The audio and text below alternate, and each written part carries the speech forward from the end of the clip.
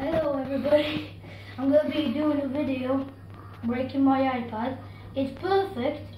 It, it, everything works, but it's very slow. it barely. It takes so long to load the game. You, we need to wait like whole, a whole day. So I'm going to be breaking it and getting a new one from the insurance because we were allowed one. Tāpēc, ka the best insurance ir pareizi. We have the best insurance.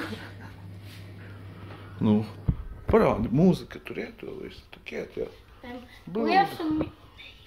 Un davai. Davai, saki. Ok, saki, saki. We had music, but we don't have it anymore. I don't know what happened. Probably a iPad glitch. Mums- Mēs varam to atļauties. Mums insurance atļauj to. Davai, we go vecais. on YouTube, it takes Davai, davai, jā. takes so long. But I'm gonna be smashing it with this. Nu, es viņu te paņēmu. Davai. Jā, otrādā atslēga. Stiprāk, otrādā atslēga. Atslēga otrādā. Un nu visa spēkā. Vēl. Vēl. Wow. Ew, bet pusi iet vēl, pareizi. Slēdz viņu vispār. Un tu izturīgi sev pareizi jau.